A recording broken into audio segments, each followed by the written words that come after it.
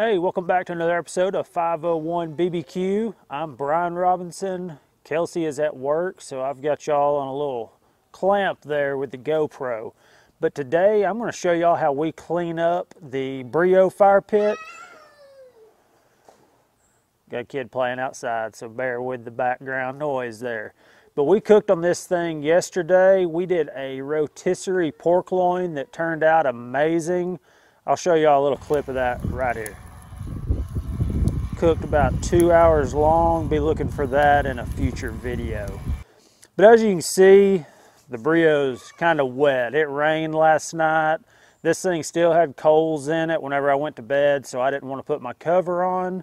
So now we have wet ash in the bottom of the fire pit.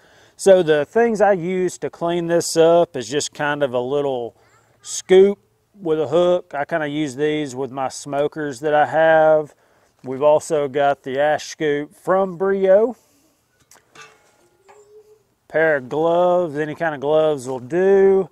And then we have a bag of Thrifty Sorb, just absorbent, kind of like an oil dry. I use this in the bottom of my drum smokers that catches any grease. So we are going to use this to kind of soak up some of that moisture.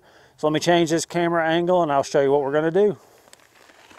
All right, so as you can tell, this ash is kind of got the little mud thing going on. So that's why we're gonna use this Thrifty Sorb. I get this at O'Reilly. It is grill safe. So all we're gonna do is come in here. Don't be shy with it. Going to cover every part of it and this is going to kind of just help soak up a lot of that moisture where it's easier to clean out and you don't have that muddy stuff that everybody's probably seen in the bottom of their fire pit at one time or the other. I like to use my hands, that's why I say gloves. So all I'm going to do is just kind of start working this around.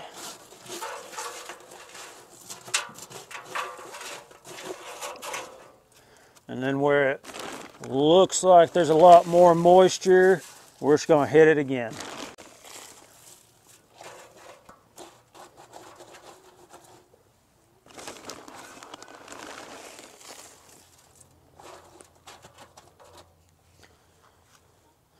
All right, that looks good right there. So what I'm gonna do now is just kind of let this set a few minutes, let it do its thing, start absorbing some of the moisture, and so I'll come back to y'all here in probably about five minutes. All right, this has been in here right at about five minutes. So I've just got me a five gallon bucket that I'm gonna put all these ashes in. You can put it in whatever you want, but I'm just gonna take the little Breeo tool. I'm gonna kind of just start shoveling it around real quick.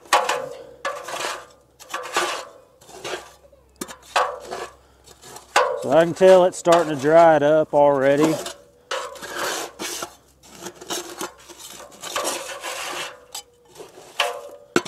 So over here is the wettest and that is where the drain hole is. So that makes sense that more of the water is gonna be over there.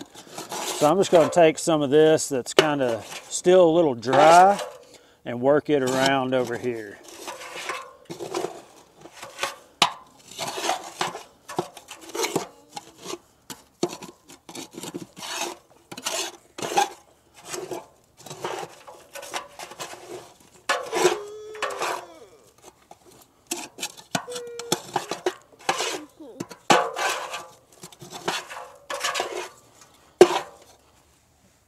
We can't light it, we're cleaning it.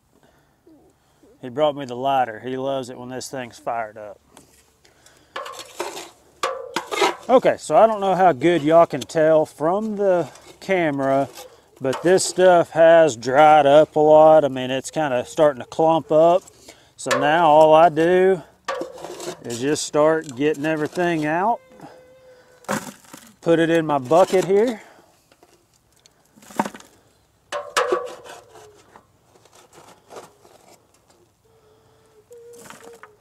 This little tool from Breeo is pretty handy. Gets up in all them corners a little easier than other things. But once you get it almost all the way cleaned out, it's still kind of tough to get everything out.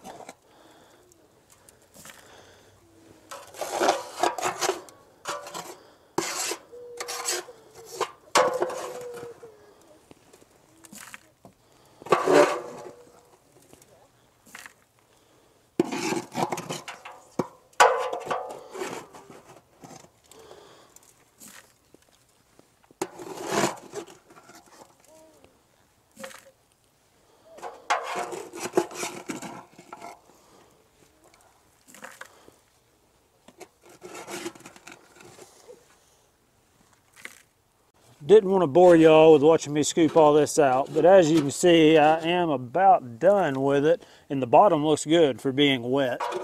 And so that oil dry does the trick. So after I get everything completely out, I'm gonna go ahead and put just a light layer of that oil dry in here and just let it stay. That way any other moisture that's in here, it's gonna grab that.